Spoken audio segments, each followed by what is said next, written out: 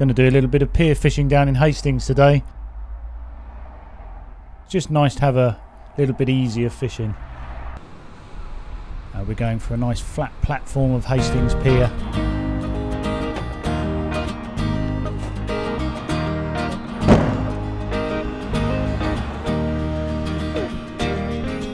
Venue's reopened and you can see why piers are such a good place to fish really other than the platform above is a lot easier. Uh, they provide all these pilings provide a good sort of harbour for the prawns and shrimps and other small fish that the fish we want to catch rely on. And obviously you're getting out into some deeper water as well. We're actually fishing the ebb tide here. I don't quite know best tide to fish Hastings Pier whether it's flood or ebb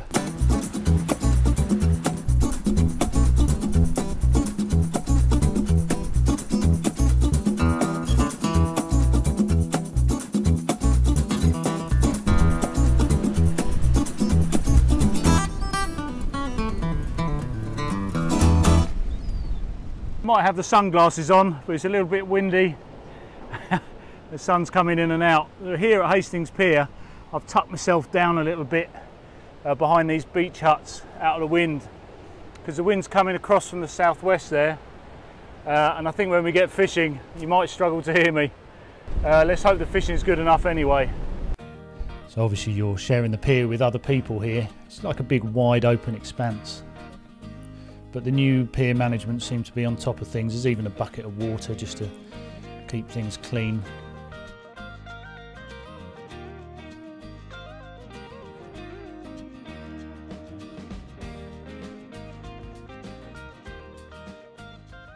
Okay, so I've tucked myself down now, uh, right down next to the tackle box,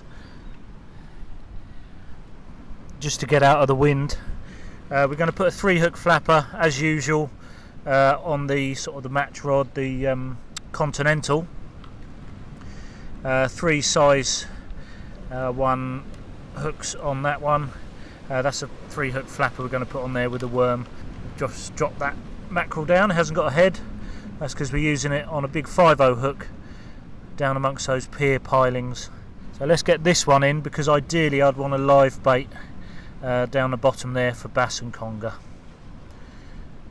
And this wind is it's really hard to fish in, but it's more difficult to um, film in as well. As you can see, most people have got their back to the wind, which is sensible uh, for angling. However, I wanted to be a bit different, always a bit different on the Saltwater Angler channel. Um, I'm just going to punch into the wind here, gives us a bit of space to do some filming uh, and it will trot that bait underneath the pier. Probably just live baiting for them to be honest. But the wind's ferocious. Still, at least you can say we're not fair weathered anglers because these have been gutted. Quite easy to put on the hook.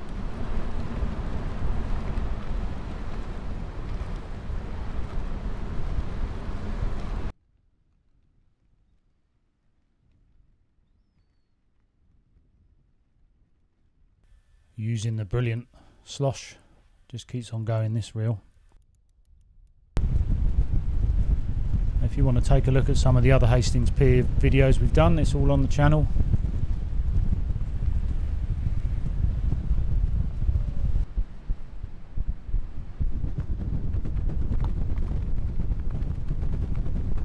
Just nice to have this pier open again and closed for so long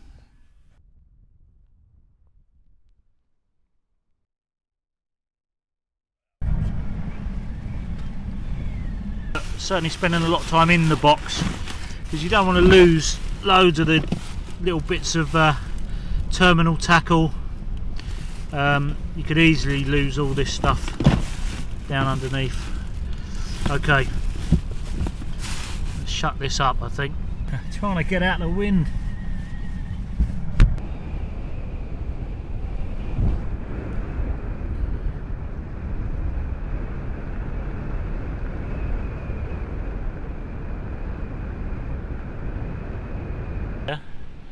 Uh, I'm just going to fillet this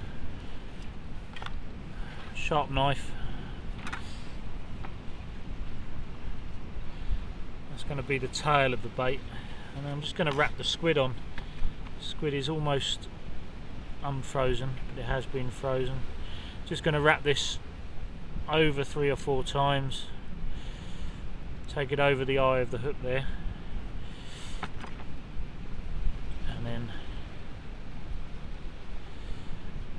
Little bit like that. And all I'm going to do is wrap that up about a million times. Just want to make sure there's lots of that gape showing.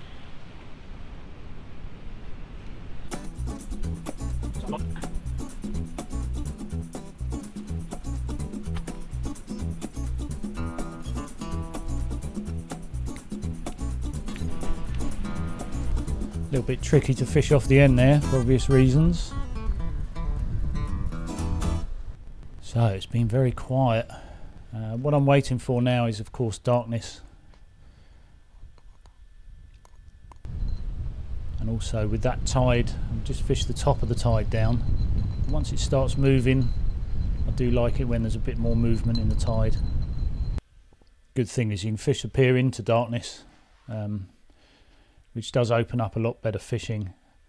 Uh, although they don't do overnight fishing, but certainly come sort of September, I'm hoping that that'll be a lot better with the more darker hours spent on here. This is the spot actually favoured by three of the locals that fish here a lot, so sometimes feel like I need permission from them. Just a wide open space, isn't it? But you'll have to let us know if you fished Hastings Pier. So I don't know too much about how to fish it. A quick toilet break and just as I was walking off I got whistled by uh, a kind member of the public who said he saw Thank my rod much. bouncing up and down. It's the first time I'd left it and that was the first significant bite I had. That's typical isn't it? it's possibly an eel.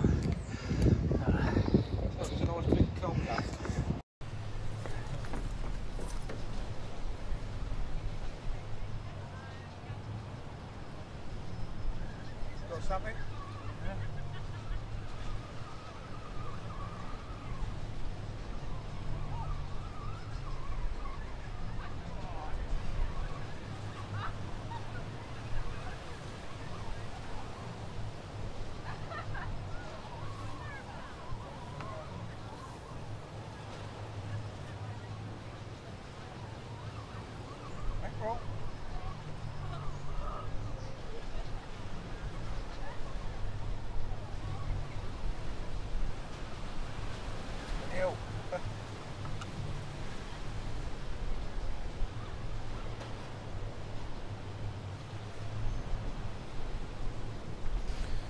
So there we go. Still a protected species of silver eel, and they do need to go back, much to this gentleman's disappointment.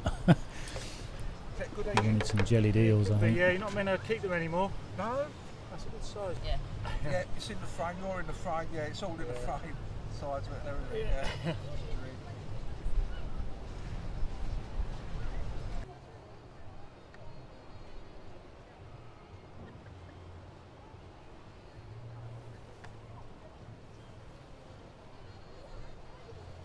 So this rod here, we've just got dropped down by the pier pilings for a conger. It's swelling a little bit up and down there. I think that's just the uh, the swell obviously. What we're looking for of course is that rattle. Fingers crossed for a conger. I don't think anything else will take that. Even a silver eel, big one, um, might not even be able to gobble that 5-0 up as greedy as they are. Something nibbling on that big squid bait. I'm not sure it's big enough to gobble it all down though, so it's nothing too exciting at the moment.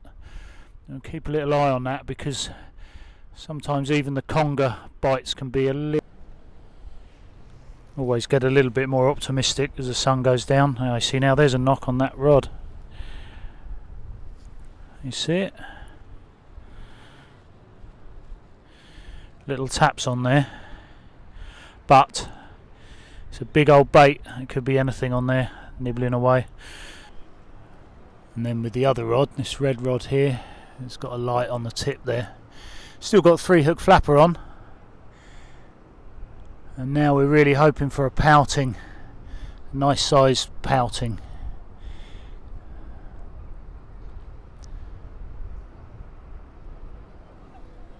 I've set the drag on this is quite useful at night just to hear a click because obviously you haven't got your eyes on the rod tips like you would in the daytime so much.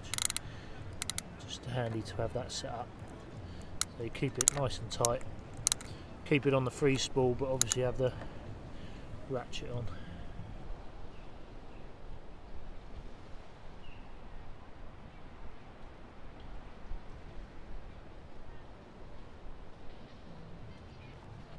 It's close together. It's just a little bit easier to see in the darkness uh, just looking in one single place. Or one right underneath. And the other one out at a reasonable distance now. Without hooking themselves. So I'm going to go and see if I can feel it on there.